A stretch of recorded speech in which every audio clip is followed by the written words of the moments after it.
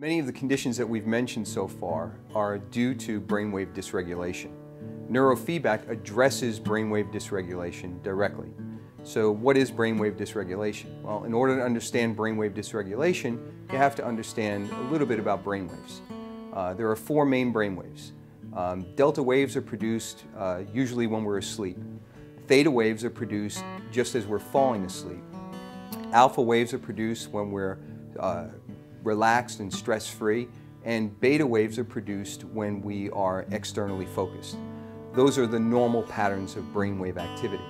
Uh, when a person uh, experiences brainwave dysregulation, uh, which may be caused by many different things, um, those patterns, those normal patterns, um, become abnormal. So that a person sitting in a classroom, for instance, trying to pay attention to the teacher, uh, who should be producing beta waves, which is the external focus brainwave, um, starts to suddenly produce theta or delta, and they can't stay awake. This is interpreted by the teacher as not paying attention, and the student ends up in trouble. And we call that ADHD. Uh, many of the conditions that we mentioned have their own dysregulated patterns of brainwave activity. So if, for instance, you were producing too much beta wave, um, people that produce too much beta wave generally experience uh, generalized anxiety, uh, panic attacks, obsessive compulsive disorder, and things like that. Uh, people who produce too many alpha waves uh, very often experience uh, signs and symptoms of depression, uh, withdrawal, and avoidance behaviors. So each one of the conditions that we talk about, insomnia has its own pattern, um, tics have their own pattern, learning disorders have their own pattern. Um, these patterns are associated with the symptomology that is, uh, that is prevalent in each of the conditions that we talk about. The brain uh, will produce the appropriate brainwave at the appropriate time in the appropriate instance uh, when it's regulated properly. Neurofeedback therapy takes abnormal brainwave patterns and makes them normal.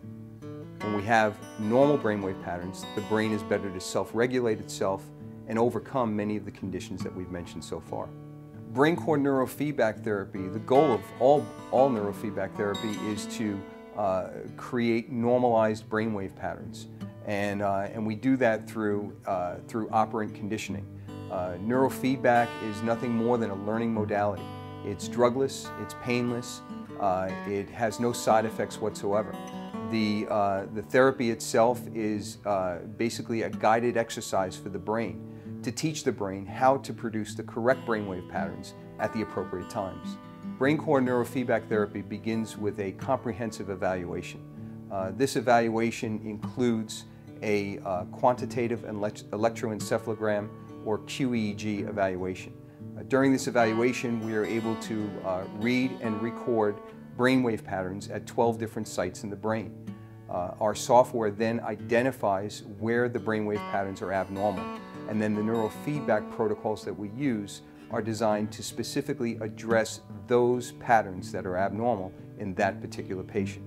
So for instance, if a patient is producing too much beta waves, the neurofeedback protocol for that patient would be to teach them how to produce less beta waves. And we do that through operant conditioning or a learning modality. Uh, a good example would be where the patient is uh, hooked up to the computer using uh, wires that are pasted to the scalp. It's completely non-invasive. There's no pins, there's no needles, it's painless. And, uh, and those, um, those wires are basically just reading the patient's brain waves coming from their brain. Um, the computer software then is going to uh, reward the patient when they're producing the correct brainwave pattern. So for instance, the reward might be um, a, uh, a, a DVD that the patient is watching. They could be watching a movie and uh, the movie is either going to play when they're producing the correct brainwave patterns or stop when they're not producing the correct brainwave patterns. This is simple operant conditioning.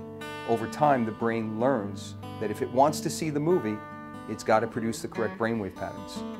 The brainwave circuitry is then um, uh, reestablished in the brain uh, and the, uh, the, the new activation patterns that have been produced by the brain can now be used out in the normal environment. So now the child who was in the classroom falling asleep uh, is no longer falling asleep because they know now how to produce more beta waves and less theta and delta.